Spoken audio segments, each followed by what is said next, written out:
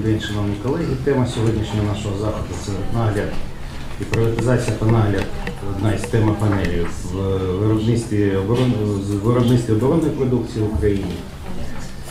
Я представляю державний концерн «Короборонпром», який об'єднує е, більшу частину підприємств української оборонної галузі, але не всі підприємства. Є у нас в цій галузі досить розвинуті на сьогоднішній день приватні підприємства, досить ефективні. І шановний пан Висоцький є представником одного з таких підприємств. Є створена ліга приватних оборонних підприємств. Е, Що на сьогоднішній день представляє виробництво оборонної продукції в Україні? Я вже казав неодноразово, що надходження основні українська оборонка отримує за рахунок експортних постачань. Це 85%, 15% десь там 80-20, 15-85 рок від року міняється.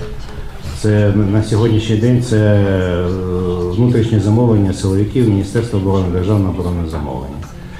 Е, Слід констатувати, що на сьогоднішній день на радість нам е, доля українського оборонного замовлення в загальному портфелі замовлення Короборонпрому воно збільшується.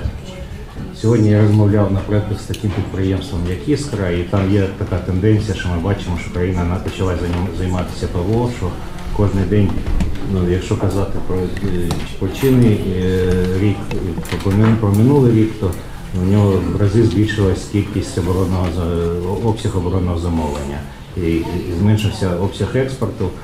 Ну, у нас дуже така тенденція радує, тому що коли оборонне замовлення починає виконувати роль локомотива в оборонці.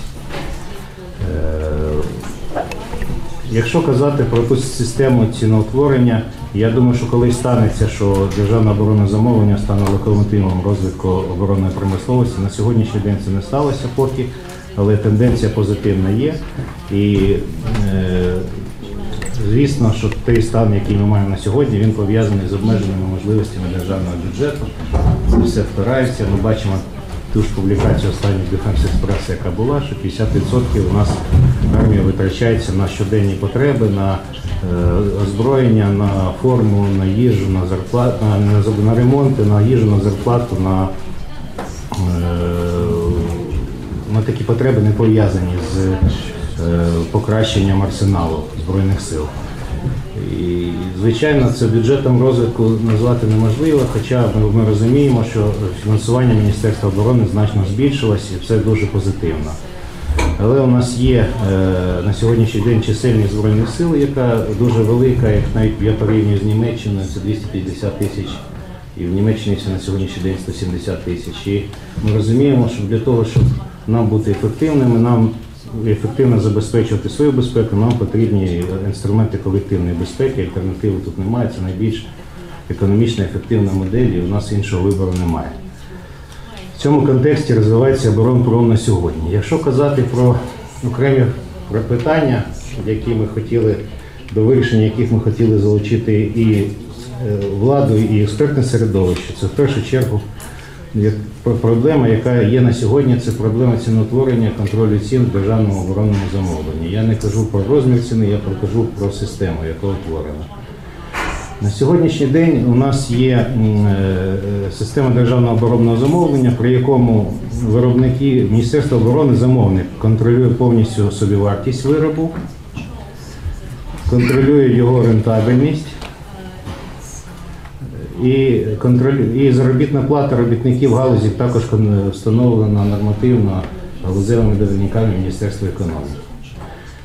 Я не кажу там про розміри, про ціни я кажу про загальний принцип. То при такому, при, при такій системі, якщо ми кажемо, в першу чергу це проявляється на ремонтних підприємствах. Е, Керівники підприємств не зацікавлені у здешевленні собівартості своїх послуг. Тому що якщо здешевлювати собівартість своїх послуг, то вони менше отримують грошей на- на розвиток на підприємство в натуральному показнику. Крім того, е, заробітна плата знову ж таки визначається фіксована галузевими нормами. Я думаю, що ця система вона запозичена з Радянського Союзу, і коли її робили, ніхто не готувався до війни дійсно. То давайте її разом міняти. Я розумію всі проблеми, які є в державному оборонному замовленні, фінансуванні державного фінансування армії.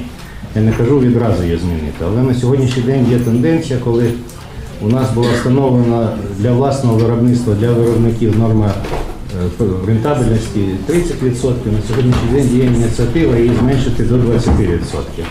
А для імпортерів зменшити там для, для покупної для закупівлі послуг або товарів за імпорт 1%. Ну, імпорт не є критичним питанням, питанням є критичне власне виробництво. Якщо ми хочемо створювати власні робочі міста, місця, якщо ми хочемо підвищувати заробітну плату людям, а це потрібно робити, то ми маємо встановлювати нормальні умови, е, нормальні умови і нормальні принципи роботи. Ситуація, коли директор підприємства, я від нього маю економічно вимагати здешевлення продукції, збільшення прибутку на підприємстві, а йому це не вигідно, навіть не враховуючи корупційні можливості того. Не вигідно чому? Тому що якщо він зменшує собі вартість, менше грошей залишається на підприємстві. Це система, яка не дозволяє розвиватися ані Міністерство оборони, вона не дозволяє розвиватися виробникам. І ми ніколи не перейдемо до тих питань, які ми кажемо, там корпоратизація, приватизація і е, інші питання. Тому що ну, це не є вільною, вільною регульованою ринком економічною системою, і вона не є привабливою тоді для приватизації. Якщо який інвестор прийде в такі умови, якщо ми, а ми хочемо його залучати. Це та позиція, яка є. Друга позиція це хотіли Укроборонпром на сьогоднішній день, я думаю, Міністерство оборони згодне також з цим та- також залучити експертне середовище і фахівців до питання все ж таки реального переходу на стандарти НАТО. Е, Ми багато вже років, там десятки років про це говоримо. Е, Нам чогось потрібно починати, навіть з маленьких кроків.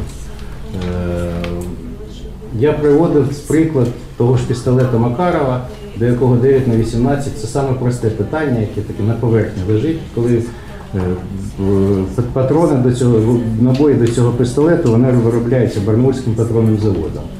Це не є пістолетне критичне питання для оборонки, але це показує тенденцію. На сьогоднішній день дуже е, скажімо так, ті запаси, які знаходяться в Міністерстві оборони, вони впливають критично на адекватність прийняття рішень.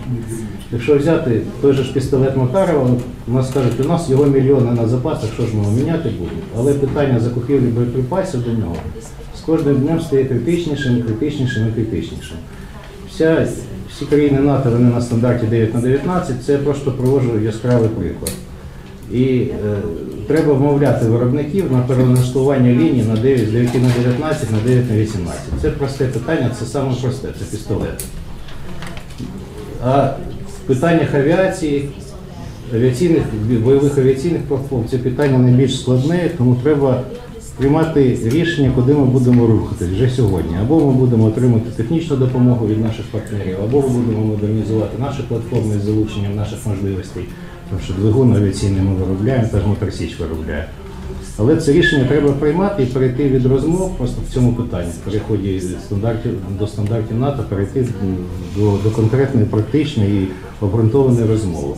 І ми всі маємо розуміти, що у нас будь-який нормативний акт, будь-яке нормативне рішення погано проходить чи приймається, якщо там пишеться, що це потребує додаткових видатків державного бюджету. Тут будуть додаткові видатки державного бюджету, але без додаткових видатків державного бюджету ми не будемо рухатись нікуди.